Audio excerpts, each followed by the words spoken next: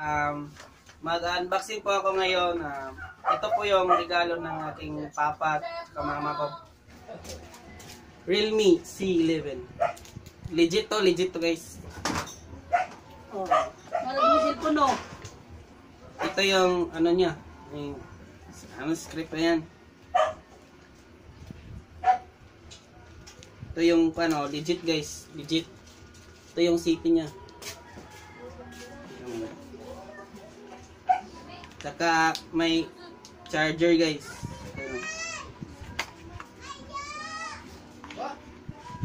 Ito pa.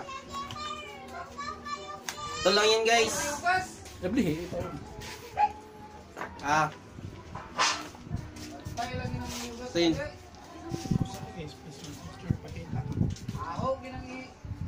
Ito yun.